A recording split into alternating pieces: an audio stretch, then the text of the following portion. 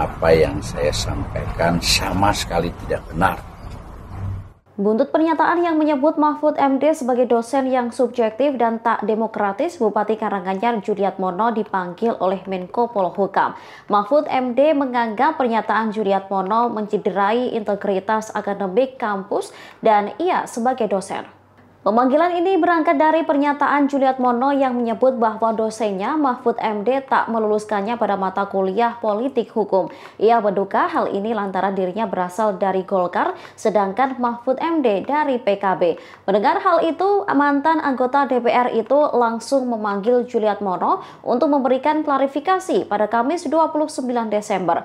Menurut Mahfud MD, saat itu ia tidak pernah mempersulit perkuliahan Juliat Mono. Bahkan ia memberikan nilai B untuk politisi Golkar tersebut. Saat bertemu Mahfud MD, Bupati Karanganyar itu langsung meminta maaf. Diketahui Juliat Pono adalah Bupati Karanganyar periode 2013 hingga 2018 dan 2018 hingga tahun 2023. Ia menggantikan Rina Iriani yang menjabat hingga tahun 2013.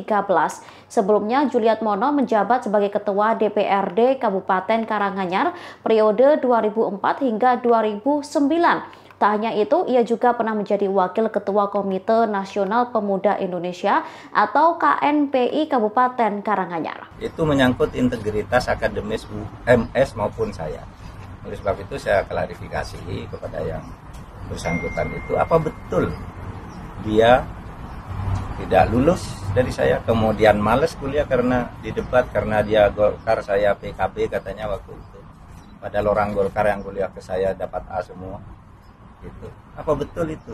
Nah saya cek ke Pak Karprodi Profesor Adil Fikri saya minta dia bicara sendiri. Ayo Pak bicara Pak di sini. Pak Julian Mono silakan. Assalamualaikum warahmatullahi wabarakatuh. Saya Julian Mono Bupati Kabupaten Karanganyar salah satu mahasiswanya Bapak Profesor Dr. Mahfud MD saat kami kuliah S2 Magister Hukum di UMS tahun 2002.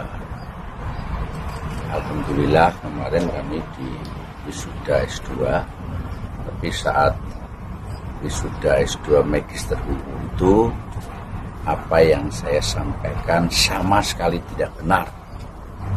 Saya tahun 2002 itu oleh Pak Profesor Mahfud diberikan nilai B. Jadi saya hilaf, saya mohon maaf dan sama sekali tidak benar apa yang saya sampaikan itu.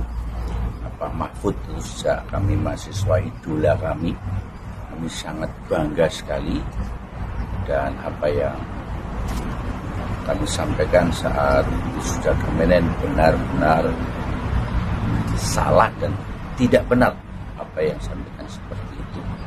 Justru Pak Mahfud memberikan nilai saya B di dokumen nilai pelajaran kuliah mata kuliah politik hukum. Oleh karena atas pernyataan saya yang keliru, yang salah, yang tidak benar itu, kami mohon maaf yang sebesar-besarnya. Kami menjaga betul-betul Pak Mahfud memiliki integritas dan idola kami dan idola bangsa Indonesia. Oke lagi cukup ya. ya.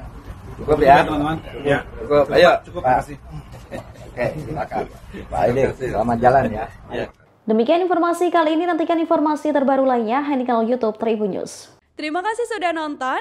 Jangan lupa like, subscribe, dan share ya.